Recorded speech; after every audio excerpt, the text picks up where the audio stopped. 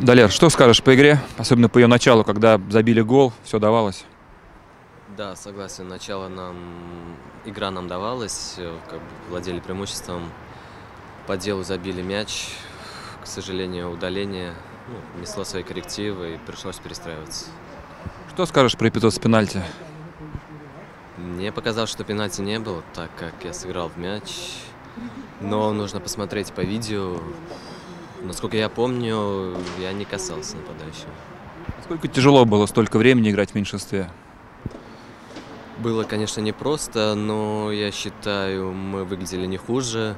Были моменты, и даже не сказать, что турки играли в большинстве, поэтому я считаю, очень достойно провели этот матч.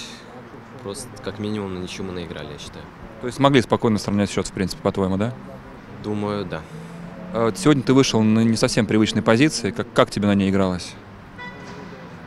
Да, без проблем. Тренерский штаб объяснил мне некоторые функции этой позиции, где я должен располагаться в атаке, в обороне.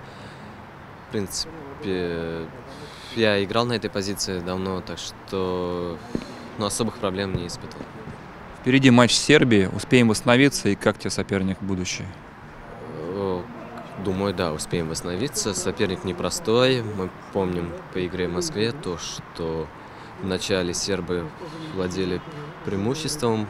Даже были опасные моменты возле наших ворот, но мы одержали победу. Я думаю, будет очень непростая игра. Э, Должны умереть на поле, но постараться взять три очка.